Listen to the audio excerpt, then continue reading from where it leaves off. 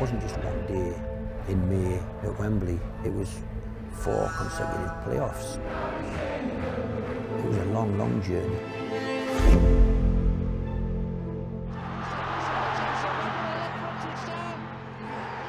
And so we're in the final. We're in the final. It was like then 46 games came down in the afternoon. Everyone, a part of that football club, the fans gave everything and it was just magical. I get asked this question a lot. Was I jealous that I wasn't actually playing in the game that day? You're damn right I was jealous. This could finish it, and he has! We were like a bottle of champagne ready to be opened to go boom into the Premier League. So it's soaring to the Premiership. George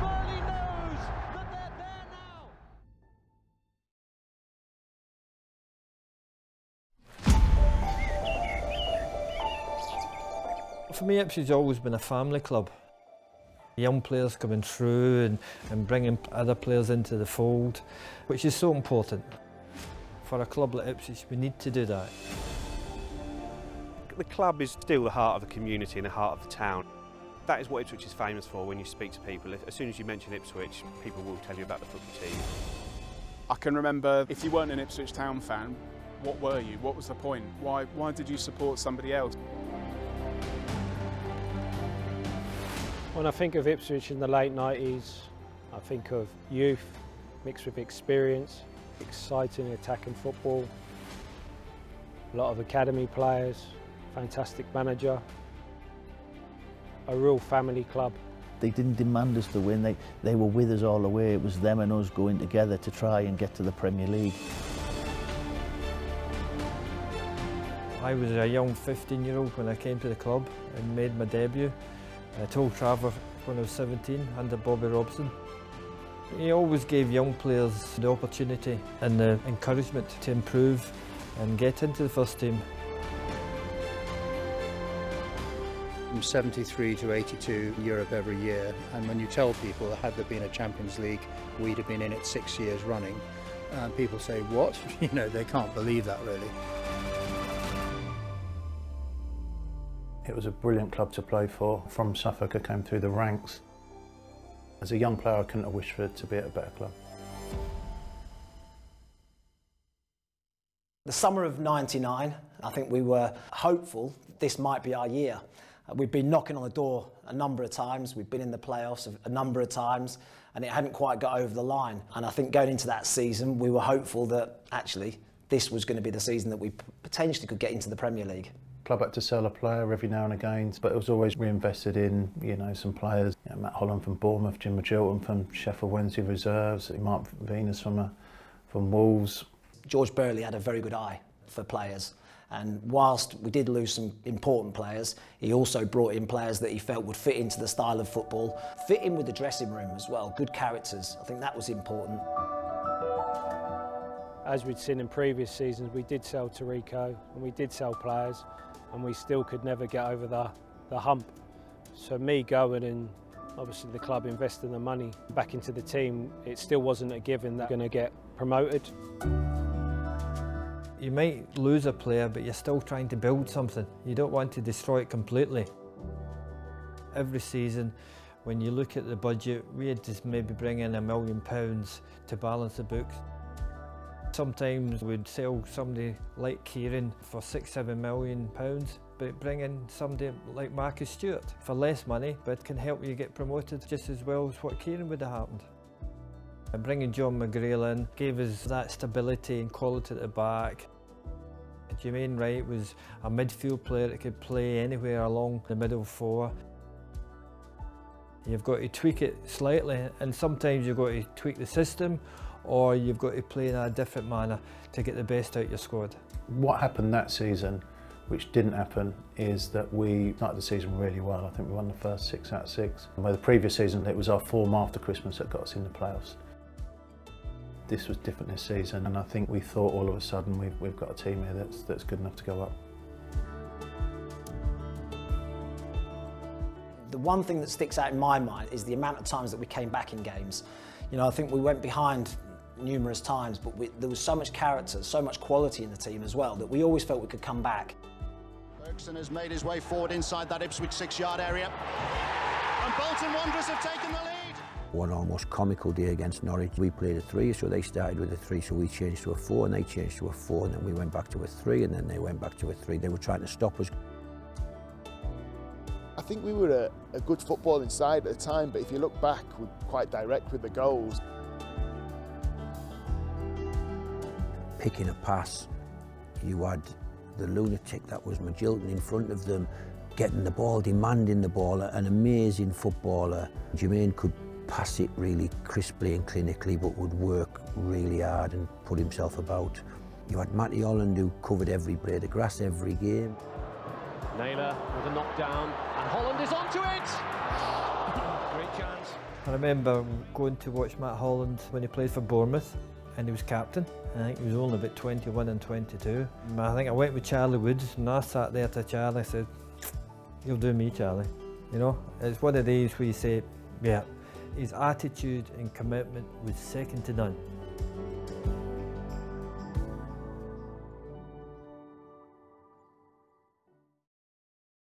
I remember the last game of the season, and, and it was uh, home to Walsall. And forget what might happen to Manchester City at Blackburn. For Ipswich, only a win will do here. When I scored, it was the roar from the crowd that we knew then we'd jump from third into second. Here's Mowbray. And this time he's got it. It's David Johnson. He sort of came flying over and it seemed like the, the whole ground knew that we were potentially going up. What a celebration and what a moment for David Johnson.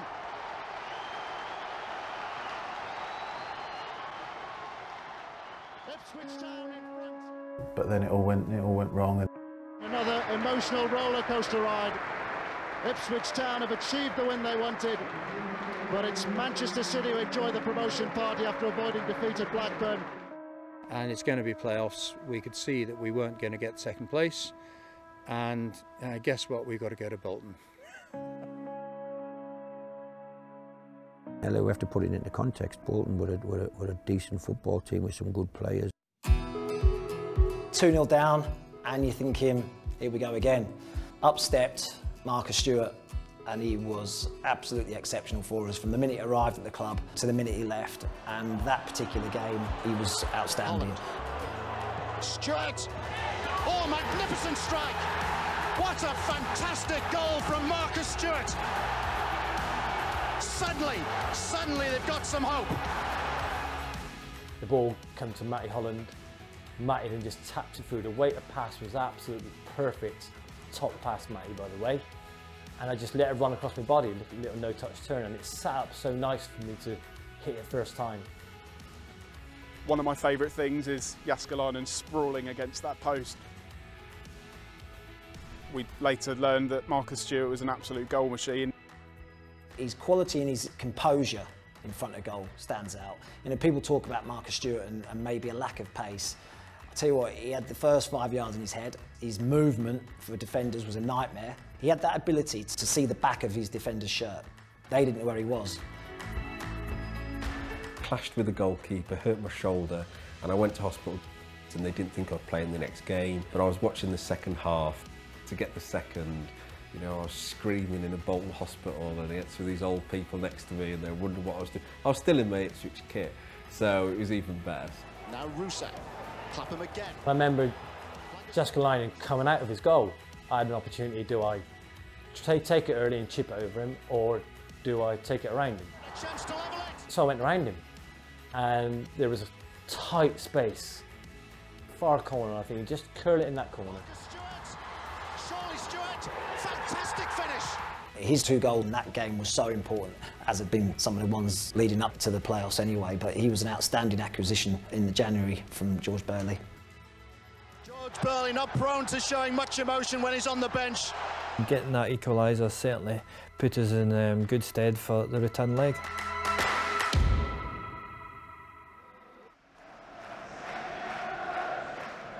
The second leg at home is still the best game of football that I think I have ever seen or will ever see. People tell me that uh, that night was the most nervous and uh, most entertaining as an Ipswich fan that I'd ever seen.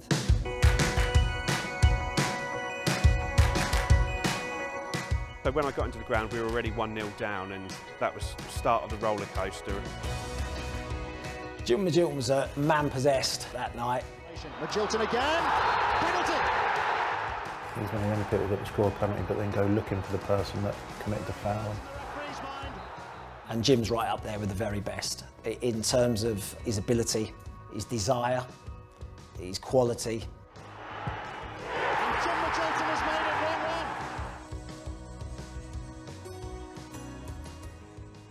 1-1. Venus.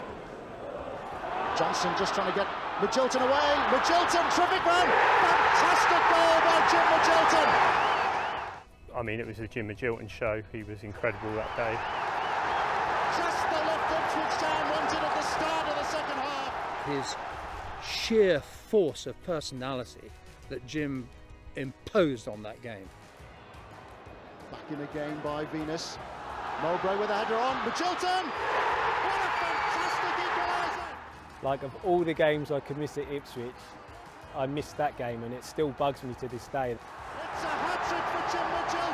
That still pains me today that I missed the great Jim Magilton, probably at the peak of his powers. Then went on into extra time and sending offs happened and Clapham then scored and Reuser going through on goal.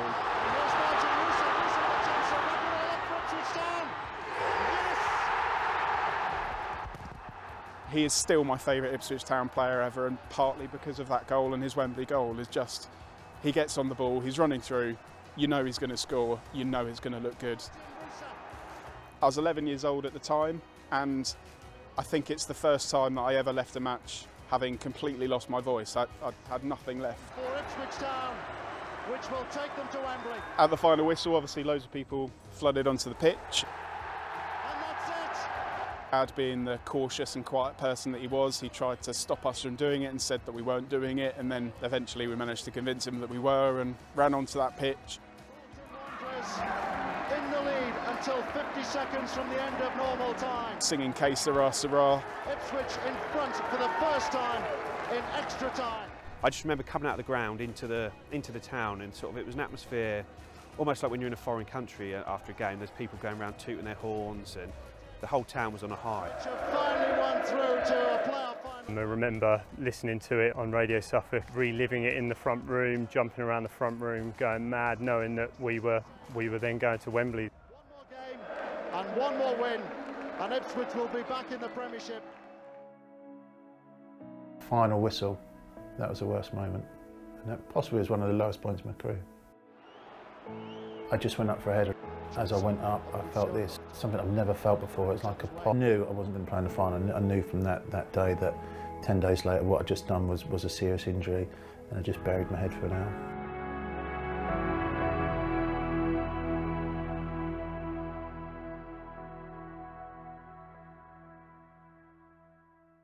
That's when you're then planning, you know, what, what shirt to wear. This is the makeshift bedsheet banner that I made on the kitchen table a couple of days after the Bolton playoff semi-final win. Uh, something that I took to Wembley and uh, walked down Wembley Way with it, just about keeping one piece and uh, stand the test of time. I remember joining the queue, and we were probably just about where we are now on the away supporters ticket office there, queuing all the way around the ground, into the gym, up the stairs. My parents brought me a McDonald's over as we were halfway through the queue and I had a cheque from my dad, a blank cheque which I was to buy the tickets with. You feel the excitement, you feel that the media are more involved, they're starting to turn up at the training ground, they're starting to ask for interviews. It was obviously a different experience, it wasn't like any other game, but in terms of the training and what we did, we tried to keep it as calm as possible. We were trying very hard to do it right, and George had a very good idea, as did the coaching staff and all of them, and they wanted to go away two or three days before the game, get into the you know, into the zone. I mean, football is a game of habits, you know, and it always has been, and it's that continual improvement which we learned under Sir Bobby. So there was no change. To have three playoff losses and to never even make it to Wembley and now I'm seeing the team that I love with all my friends uh, getting the chance to play in at Wembley probably in front of 40 odd thousand Ipswich fans. I, of course I was jealous. I used to go to a hairdresser, Franco's, and he says, oh, let me do your hair blue. I'm like an idiot. Yeah, yeah, no problem. If we lost, I'd look an idiot. And if we won, I'd look an even bigger idiot 20 years on looking at the same pictures.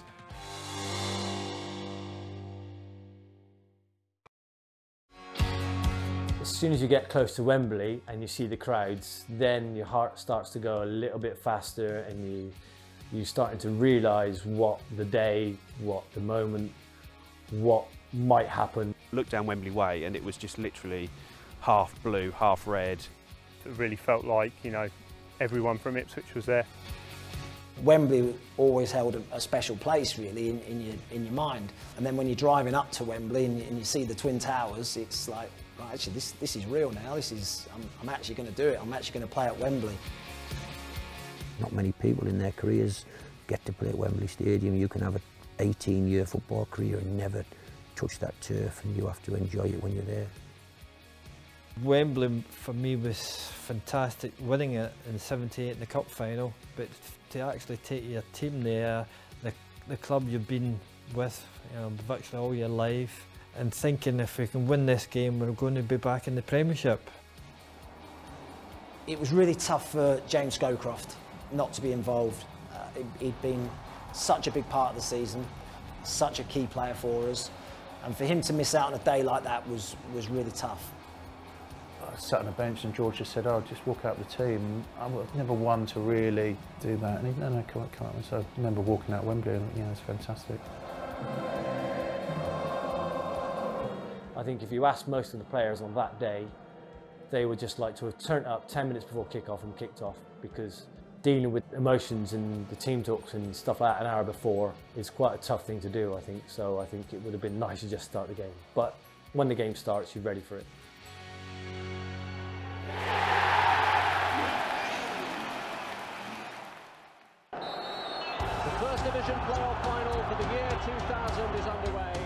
And when the game starts, we're end to end, Got blistering pace. and then all of a sudden Hignett finds a little bit of space, unleashes this shot from I think 25 yards, fantastic shot. We've gone behind so often in previous games, we've come back, and I don't think there was any sense of panic because it happened so early in the game. I remember turning to my uncle and saying, I don't think we're going to do it now. Sort of reassured me, no, plenty of time. It was only five minutes in.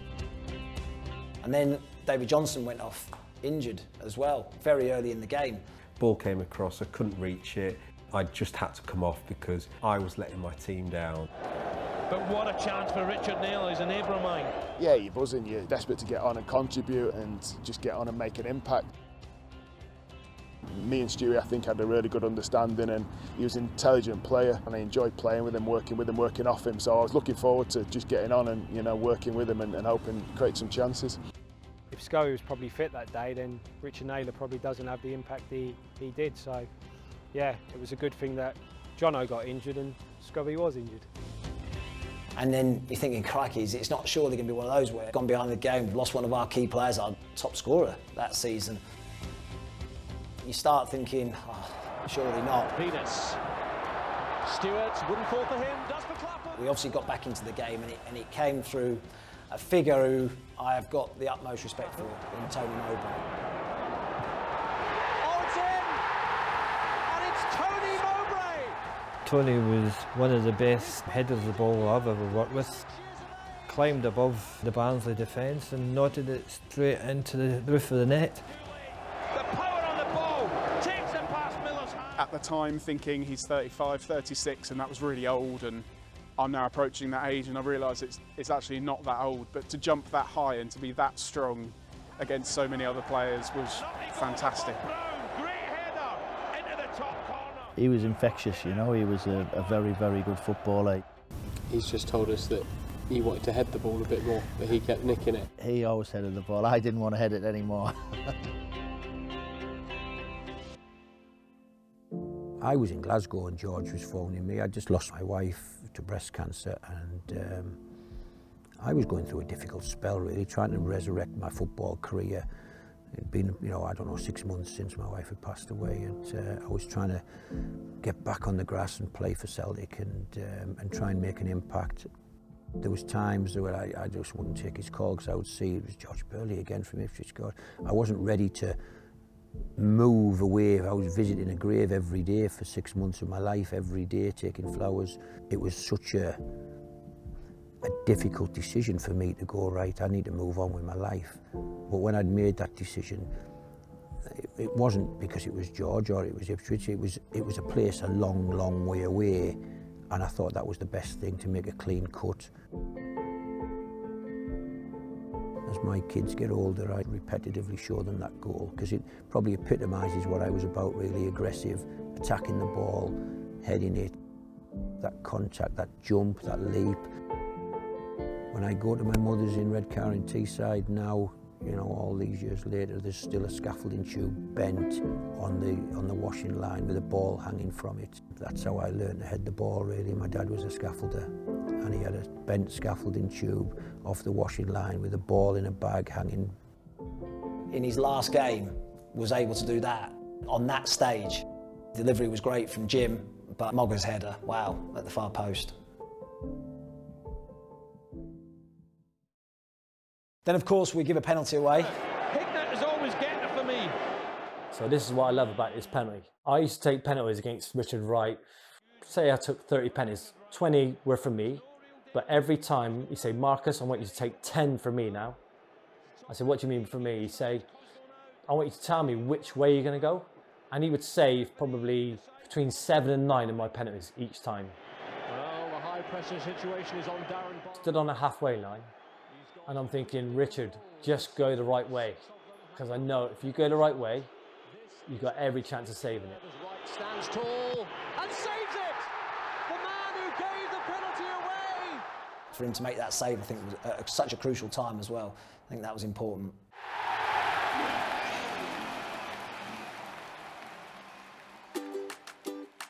You get asked the question often, who's the best manager that you work with? George is, for me, right up there. I would say made me a much better player.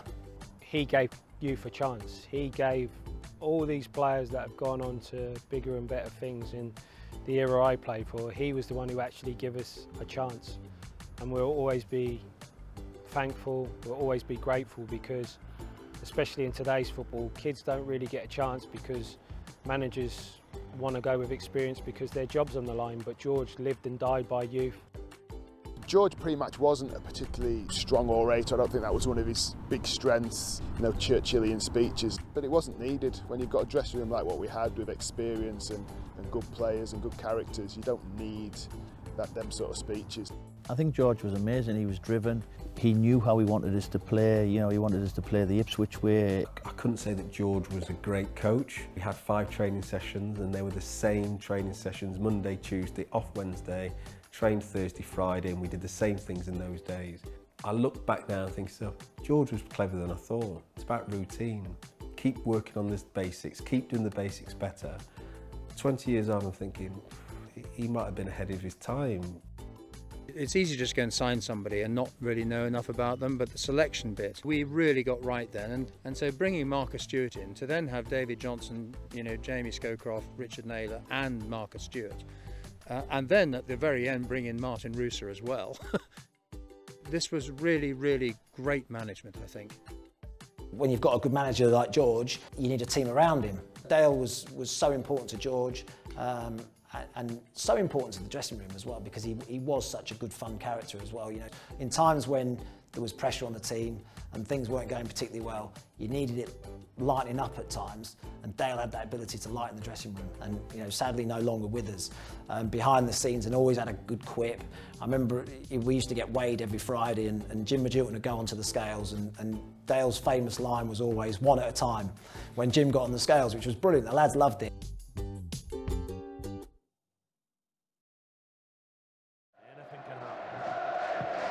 Barnsley have a greater Wembley experience in their ranks as Naylor heads it on here towards Stewart.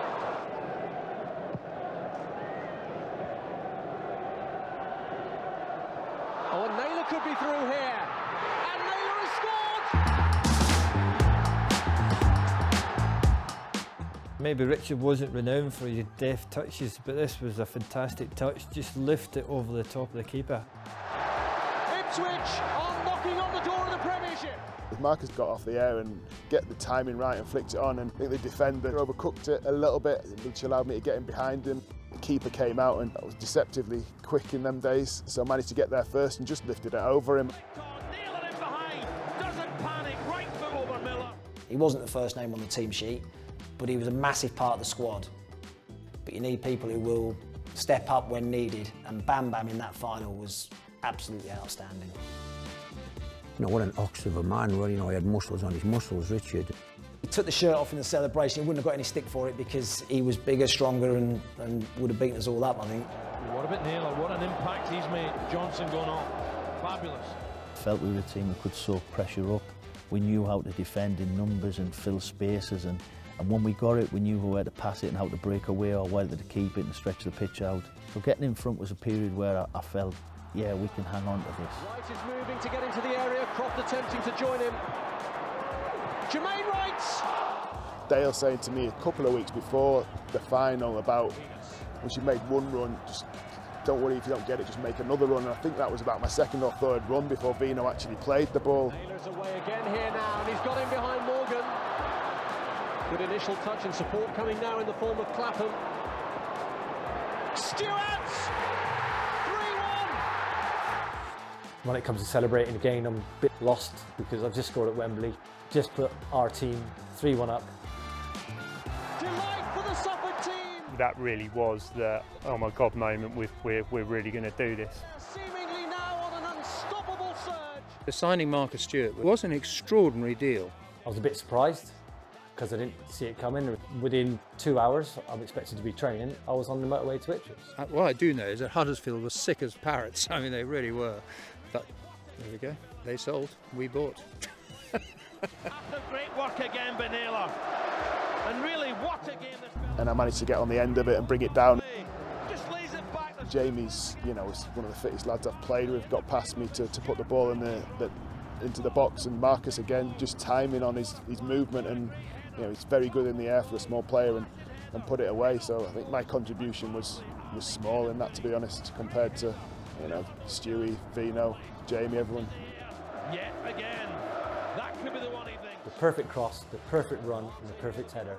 And those sort of things don't happen very often. It just seemed like this is our game for the taking now, and the confidence we'd shown, the quality we'd shown. It's like we're going to be in the Premier League if it if it just stays like this. 15 minutes away from going up the steps to pick up the trophy. And then, of course, don't make it easy for yourselves. Give away a penalty.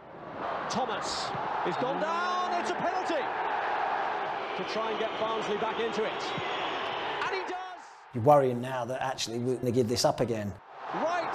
Couldn't keep that one out. He's We're quite brave actually because we continue to keep people up the pitch as well. Barnsley still have hope. Suddenly, it's the red and white end of this stadium that's making all the noise. They kept coming and coming, and they, I remember they had a chance that flashed across the goal, and I thought, "What if they score an equaliser, it's going to be pretty tough for us to, to get another goal. You can cut the tension here with a knife there. Bound to lay siege to the Ipswich goal for the last six minutes or so. Nicky Eaden. Christoph! Oh, saved by Wright at point blank range. What a save! Ball across the six-yard box. Surely someone takes a chance here. And then, of course, uh, we bring on Super Sub. And this guy, when he comes off the bench, can be electric. Martin really self-confident. Thought he should have played more. He used to get frustrated, you know, not not starting as many games as he felt he should do at times. Here is Aboisa.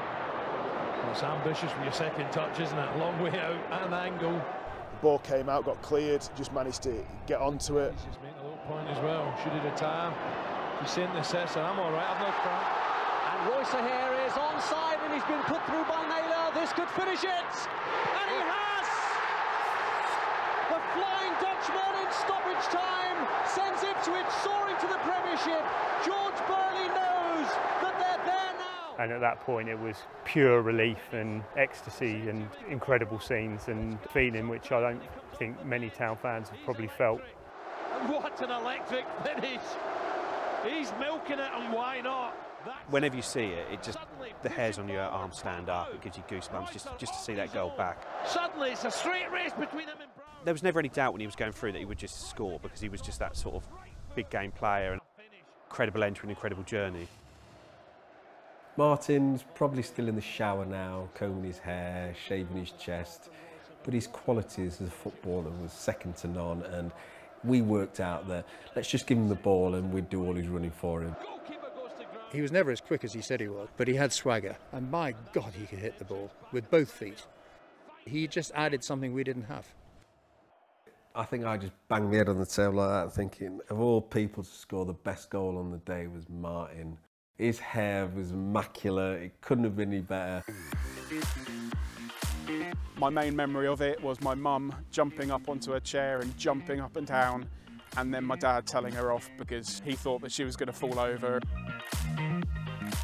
It only happens when you get that rare coming together, the rare, the cohesion of players, you know, on field, off field, supporters, stakeholders, everyone going as one. That famous walk up the steps to lift the trophy at Wembley, to point it in the direction of the Ipswich fans.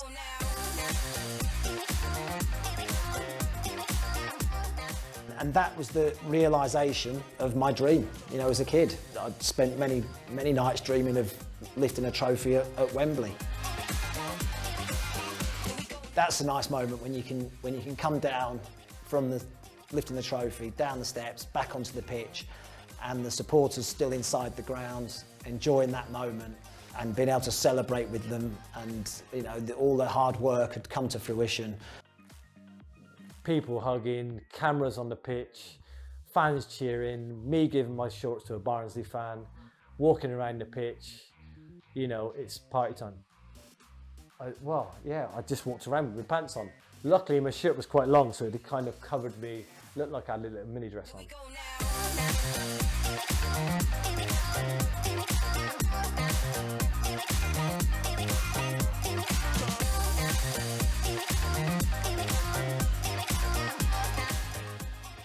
I remember the celebration on the pitch. I remember the little flag with where going up.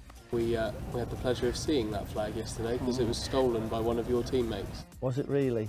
Right. James Scowcroft. Did he keep that flag, did he? But I just remember thinking, I'll take this because one day it'll be worth uh, looking back on.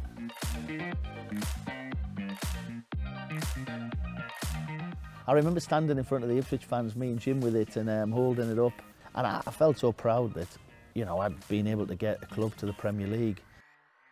And we'd done it, we'd achieved it, we'd, we'd all worked so hard, the manager had driven so hard for so long.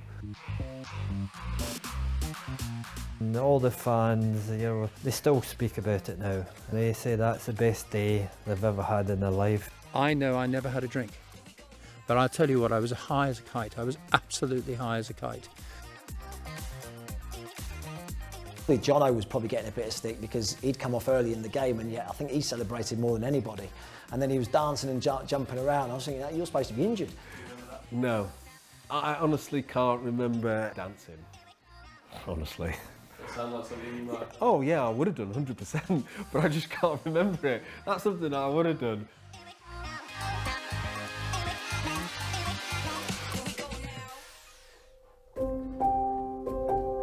remember uh, having a cuddle with David Sheepshanks. He deserves a special mention, really, in, in the history of Ipswich Town.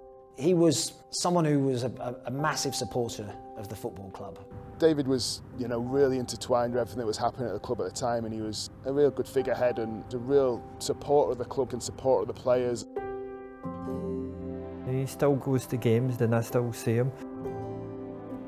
He's Ipswich through and through, and that was that was fantastic to have a club like that with not a backer, people from Ipswich, people who love the town, and it just shows you the, the success you can gain through hard work, having the right spirit and the right ideas. That is something we can never forget.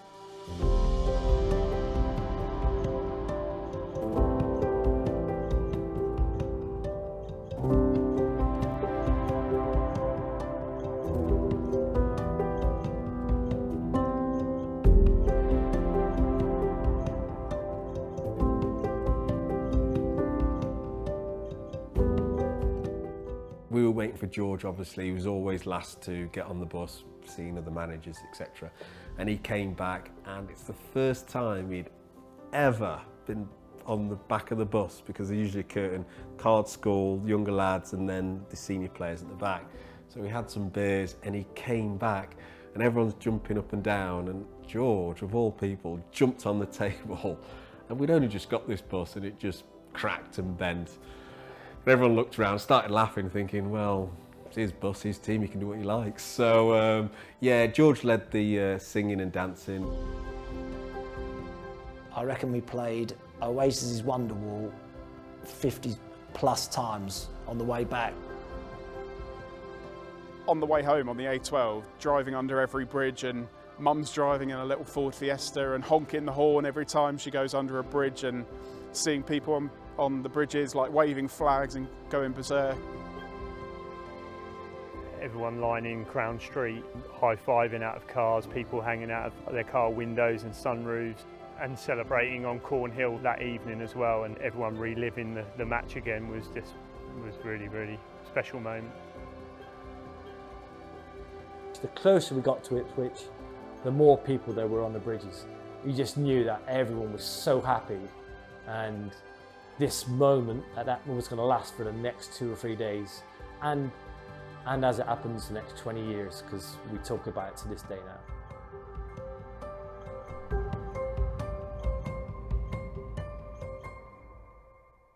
When we got back to Ipswich, there was a function at the Suffolk Showground, which we went back to. We were able to celebrate together and enjoy that moment. Actually, for me, that was one of the, the toughest parts of the day, really. I, I think at that point, where we'd had the game, we'd had the celebration on the bus, by the time I got to the Suffolk Showground, all I wanted to do was, was go home, really. And maybe chat to my dad about it, because my dad was such a big influence, and he's sadly not no longer with us anymore, but it, it was always my first port of call. Don't, I don't think he missed the game until I was probably 17, 18 in terms of watching me play. I've got scrapbooks at home of stuff that he kept throughout my career. And he was the one that would have driven me everywhere around the country. Sitting at home with my dad, with a beer, and being able to say, I'm going to be in the Premier League next year was a really emotional moment.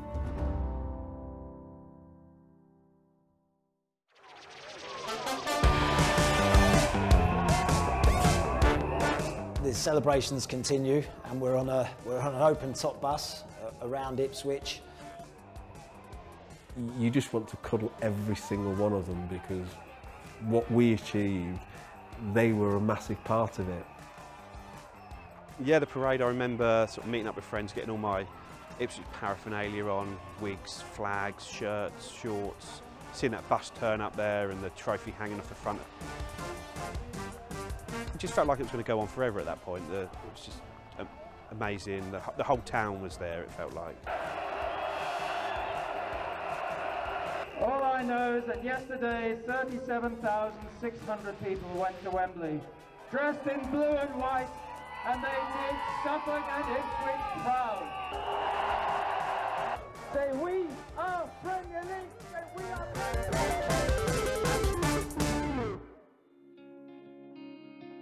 I'm very fortunate to be able to look back on my career and think, as a group, we got the team promoted. I played a part in that. Um, so to have that memory, to have that medal, those things are obviously very treasured and cherished and, and things that you know, you're able to look back on with a lot of pride and a lot of joy. I was thinking this morning of how many players have gone on to be coaches from that team really and it's a great credit to George that um, he could inspire lots of footballers to want to continue a career in the game after their playing days. Giving kids a chance and bring them through the right way and getting them to play the right football and getting success uh, for your club. So that, that that's that's always been uh, what I enjoyed the most, uh, being out in that training ground, uh, which I which I still miss. Where does it stand in everything you achieved as a football player? It's probably at the very top. On a footballing front, Ipswich was the best years of my career really. I achieved everything that I dreamed and hoped that I could achieve and I got there with a club that played football the right way, who, who it wasn't a big club but it, it took all the teams on and I'm proud to be part of of that team, to be honest. And sometimes I think to myself, it was written for me not to play because if I would have played, would have probably played a different way. And I think it just worked well. And like you said, he was fantastic. And for me, he was probably the man of the match. I was privileged, um, my fellow directors, all of us, you know, to be part of this. And um, they all deserve credit, everybody.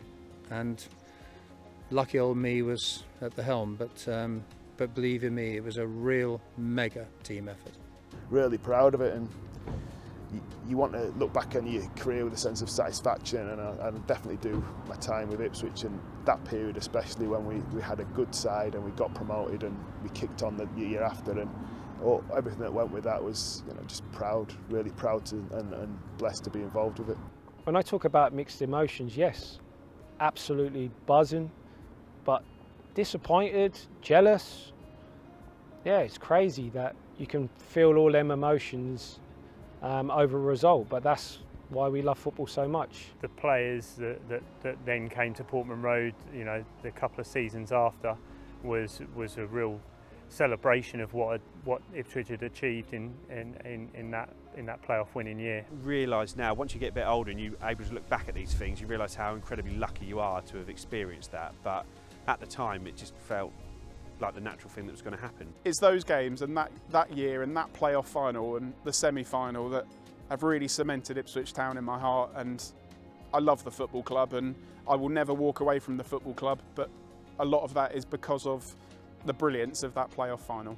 It gave me a lot. It, it, was five years of my career. It's pretty special to play for a club which I felt the supporters were liking me. The club was rewarding me in a, in a, in a good way. My children were born in, in that area, so yeah, it's, it's, it's a part of your life which you appreciate uh, when when you stop playing football. You still appreciate that I played for that beautiful club. What happened on that day at Wembley if you look at Portman Road now, the extensions on both goals happened because of that day. The training ground happened because of that day. You know, that, that day was such a big moment. 20 years on, the legacy is still there. I went with great sadness to Ipswich. Great, I was lost really. I was, um, I was on my own, and Ipswich gave me um, love of football back. Um, I had a manager who had faith in me and trusted me. I had a teammates who who were just great to work with. Um, I met the next love of my life really and married her and, um, and we got three great kids and a family. Uh, Ipswich, always there. Last question. Yep. What does Ipswich, can you tell us what Ipswich Town means to you? Oh. Hmm. Um, don't just don't record that a minute. Great memories. Um, thank you to the club for taking me there. Thanks to George for having a bit of faith in me. And uh, thanks to my teammates for making me feel so welcome and the best group of teammates I've probably ever played with.